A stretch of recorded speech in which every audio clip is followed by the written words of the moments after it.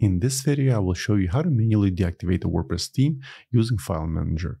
But before you proceed with this method, make sure to have a full backup copy of your website in case something goes wrong.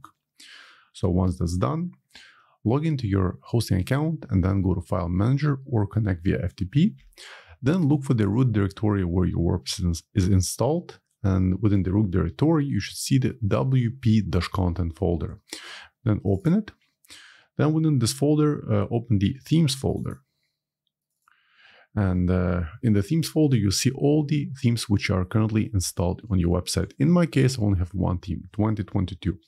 So in order to deactivate the theme, I have to rename the theme folder. So let's uh, highlight the 2022 folder, right click on it, and then rename. And let's write something like dash inactive and save it. And now if I refresh the homepage of my site, you'll see an error.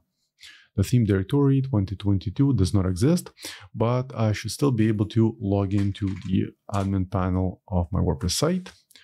And if I go to appearance and click on themes, you should also see the error message here. So right now the theme is um, inactive. And in order to make it active once again, I have to simply revert all the edits which I made to the folder. So let's rename it and remove inactive and also remove the dash and save it. And let's refresh the page. The error should no longer be visible here. Yeah, as you can see, I have an active theme right now. And uh, yeah, the homepage also loads fine. So I hope you found this tip useful. And for more WordPress tutorials, please subscribe my channel. Thank you.